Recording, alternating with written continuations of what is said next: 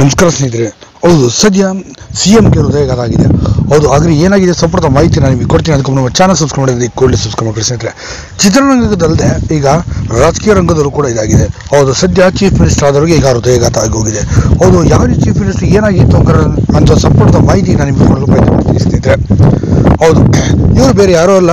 ಆಂಧ್ರ ಪ್ರದೇಶ, ತೆಲಂಗಾಣದ chief minister K C R ಅವರು. ಹೌದು ಚಂದ್ರಶೇಖರ್ ರಾವ್ ಅವರಿಗೆ ಸದ್ಯ ಈಗ ಹೃದಯಘಾತ ಆಗಿರೋದು ಸ್ನೇಹಿತರೆ.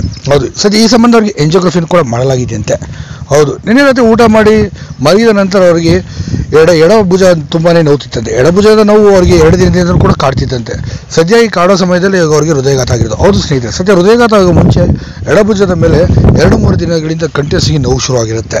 ಅದಾಗ್ತದೆ ಅಂತಂದಾಗಲೇ ಅಲರ್ಟ್ ಆದರೆ ಸರಿ. ಇಲ್ಲ ಅಂತಂದರೆ ಈ ಥರ ಹೃದಯಘಾತಕ್ಕೆ ಒಳಗಾಗಬೇಕಾಗುತ್ತದೆ ಸದ್ಯ ಪುನೀತ್ ರಾಜ್ಕುಮಾರ್ ಅವ್ರಿಗೂ ಕೂಡ ಇದೇ ರೀತಿ ಆಗಿತ್ತು ಅಂತ ಕೂಡ ಹೇಳಲಾಗ್ತದೆ.